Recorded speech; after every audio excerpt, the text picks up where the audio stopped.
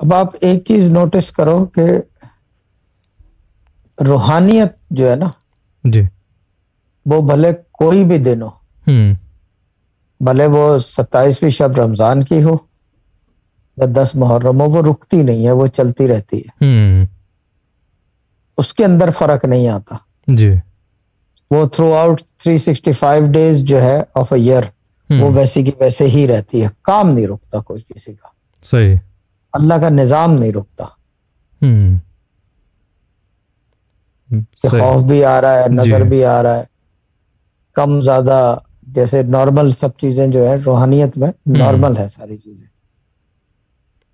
एक चीज़ मैं अलबत्ता बता दूँ कि पूरे साल में जो है ना एक समझ लो कि जो पता चलता है कि वीरानियत होती है वो 21 रमज़ान को होती है।